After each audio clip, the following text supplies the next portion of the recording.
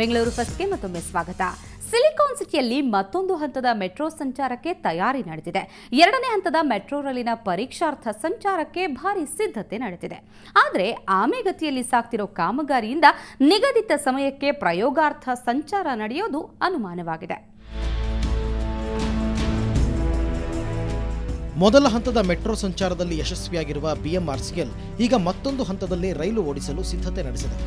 ಎರಡನೇ ಹಂತದಲ್ಲಿ ಪೀಣ್ಯ ಟು ಸಂಪಿಗೆ ರಸ್ತೆ ನಡುವೆ ಪರೀಕ್ಷಾರ್ಥ ಸಂಚಾರಕ್ಕೆ ಜೂನ್ ಹತ್ತಕ್ಕೆ ಮುಹೂರ್ತ ಫಿಕ್ಸ್ ಆಗಿದೆ ಪೀಣ್ಯ ಡಿಪೋದಿಂದ ಸಂಚಾರ ಆರಂಭಿಸಲಿರುವ ಗ್ರೀನ್ ಟ್ರೈನ್ ಶ್ರೀರಾಂಪುರ ನಿಲ್ದಾಣದವರೆಗೆ ಸಂಚರಿಸಲಿದೆ अभी काम तो अभी चलेगा बहुत दिन पाँच छः सम- पाँच छः महीने चलेगा लगभग अभी तो अभी से ही चालू हुआ है लेकिन अब ओके हो पूरा जब पूरा फिनिशिंग हो जाएगा फिर चालू होगा अभी फिनिशिंग करने में भी टाइम लगेगा अभी तो बहुत काम बाकी है ಆದರೆ ಕುಂಟುತ್ತಾ ಸಾಗಿರುವ ಕಾಮಗಾರಿ ನೋಡಿದ್ರೆ ನಿಗದಿತ ದಿನಾಂಕದಂದು ಪರೀಕ್ಷಾರ್ಥ ಸಂಚಾರ ನಡೆಸೋದು ಸಾಧ್ಯವೇ ಇಲ್ಲ ಯಾಕಂದ್ರೆ ಗ್ರೀನ್ ಟ್ರೈನ್ ಸಂಚರಿಸುವ ಮಲ್ಲೇಶ್ವರಂ ಮತ್ತು ನೆಲಮಂಗಲ ಬಳಿ ಹಲವು ಕೆಲಸಗಳು ಬಾಕಿ ಉಳಿದಿವೆ ನಾಲ್ಕು ಸ್ಟೇಷನ್ಗಳ ಮೆಟ್ಟಿಲುಗಳ ಕಾಮಗಾರಿ ಟಿಕೆಟ್ ಕೌಂಟರ್ ಸೇರಿದಂತೆ ಹತ್ತು ಹಲವು ಕೆಲಸಗಳು ಮಂದಗತಿಯಲ್ಲಿ ಸಾಗಿದೆ ಈ ಎಲ್ಲಾ ಕೆಲಸಗಳು ಮುಗಿಯೋದಕ್ಕೆ ಕನಿಷ್ಠ ಐದು ತಿಂಗಳಾದರೂ ಬೇಕಾಗುತ್ತೆ ट्रेन कब चलेगा है वो बात मैं बोल नहीं सकता है वो लोग साहब लोग बोल सकता है लेकिन काम कितना दिन होगा हमारा साहब लोग जितना अ, दिया क्या टारगेट कम से कम छः महीना लग जाएगा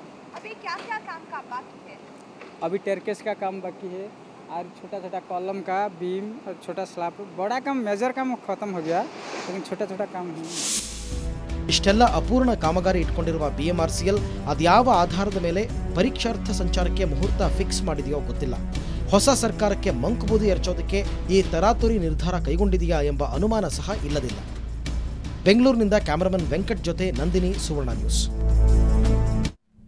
ಭ್ರಷ್ಟರಿಗೆ ಸಿಂಹ ಸ್ವಪ್ನವಾಗಿದ್ದ ದಕ್ಷ ಕೆಎಸ್ ಅಧಿಕಾರಿ ಮಹಾಂತೇಶ್ ದುಷ್ಕರ್ಮಿಗಳಿಂದ ಹತ್ಯೆಗೀಡಾಗಿ ಇಂದಿಗೆ ಒಂದು ವರ್ಷ ಗತಿಸಿದೆ. ಆದರೆ ವರ್ಷ ಕಳೆದರೂ ತಪ್ಪಿತಸ್ಥರಿಗೆ ಶಿಕ್ಷೆಯಾಗಿಲ್ಲ ತನಿಖೆ ಯಾವ ಹಂತದಲ್ಲಿದೆ ಅನ್ನೋ ಬಗ್ಗೆ ಸರಿಯಾದ ಉತ್ತರನೂ ಸಿಗ್ತಿಲ್ಲ. ಈ ಮಧ್ಯೆ ಮಹಾಂತೇಶ್ ಕುಟುಂಬ ಶಾಕ್ನಲ್ಲೇ ಜೀವನ ಕಳೀತಾ ಇದೆ. ಆವತ್ತು ಮೇ ಐದನೇ ತಾರೀಕು ಎರಡ್ ಸಾವಿರದ ಹನ್ನೆರಡನೇ ಇಸವಿ. ಏಟ್ರಿಯಾ ಹೋಟೆಲ್ ಬಳಿ ಸಾಗುತ್ತಿದ್ದ ದಕ್ಷ ಕೆಇಎಸ್ ಅಧಿಕಾರಿ ಮಹಾಂತೇಶ್ ಮೇಲೆ ದುಷ್ಕರ್ಮಿಗಳ ಗುಂಪು ರಾಕ್ಷಸರಂತೆ ಎರಗಿತ್ತು. ಮಾರಣಾಂತಿಕ ಹಲ್ಲೆ ನಡೆಸಿತ್ತು. ಸುಮಾರು ಹದಿನೈದು ದಿನಗಳ ಕಾಲ ಆಸ್ಪತ್ರೆಯಲ್ಲಿ ಸಾವು ಬದುಕಿನ ಮಧ್ಯೆ ಹೋರಾಡಿದ ಮಹಾಂತೇಶ್ ಇಪ್ಪತ್ತರಂದು ಕೊನೆಯುಸಿರೆಳೆದ್ರು ಬಳಿಕ ಮಹಾಂತೇಶ್ ಪತ್ನಿ ಹತ್ತು ಲಕ್ಷ ಪರಿಹಾರ ನೀಡಿದ ಸರ್ಕಾರ ಜೀವನ ಉದ್ಯೋಗವನ್ನು ನೀಡಿದೆ.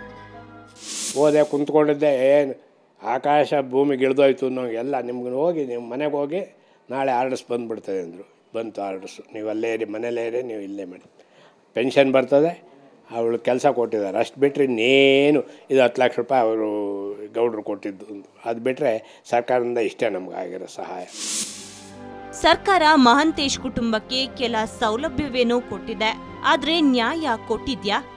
ಮಹಾಂತೇಶ್ ಕೊಲೆ ಪ್ರಕರಣದ ತನಿಖೆ ಸಮರ್ಪಕವಾಗಿ ನಡೆಯುತ್ತಿಲ್ಲ. ಪ್ರಕರಣಕ್ಕೆ ಸಂಬಂಧಿಸಿದಂತಹ ಮುಖ್ಯ ಆರೋಪಿಗಳನ್ನ ಬಂಧಿಸಲಾಗಿಲ್ಲ. ತನಿಖೆ ಹೆಸರಲ್ಲಿ ಸರ್ಕಾರ ಕಾಲಹರಣ ಮಾಡ್ತಿದೆ ಅಂತಾರೆ ಮಹಾಂತೇಶ್ ತಂದೆ. ನೂತನ ಸರ್ಕಾರನಾರು ಇದನ್ನ ಕನ್ಸಿಲ್ ಯಾಕೆಂದರೆ ಇವರು ಅಪೋಸಿಷನಲ್ಲಿದ್ದಾಗ ಹೇಳಿದ್ರು. ಮೋಟಮ್ನವರು ಕೌನ್ಸಿಲ್ನಲ್ಲಿ ಎಸ್ ಆರ್ ಪಾಟೀಲ್ರು ಅಲ್ಲೆಲ್ಲರೂ ನೀವೇನು ಅವ್ರಿಗೇನೇನು ಸ ಗೌರ್ಮೆಂಟಿಂದ ಏನು ಕೊಡಬೇಕು ಸಾಧ್ಯ ಎಲ್ಲ ಕೊಡಿ. ನಮ್ಮದೇನೇನು ಅಬ್ಜೆಕ್ಷನ್ ಇಲ್ಲ. ಮೋಸ್ಟ್ ಡಿಸರ್ವಿಂಗ್ ಕೇಸ್ ಇದು ಅಂತ ಅವರು.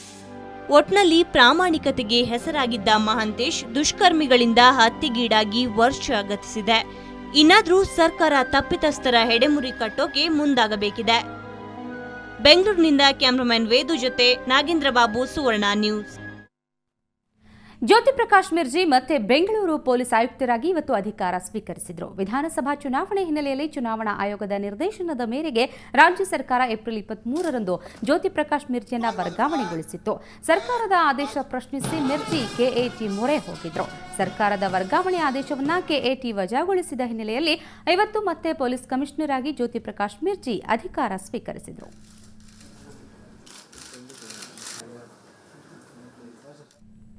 ಶ್ರೀ ಸಾಯಿಗೋಲ್ಡ್ ಪ್ಯಾಲೇಸ್ನ ಇಂದಿನ ಚಿನ್ನದ ದರ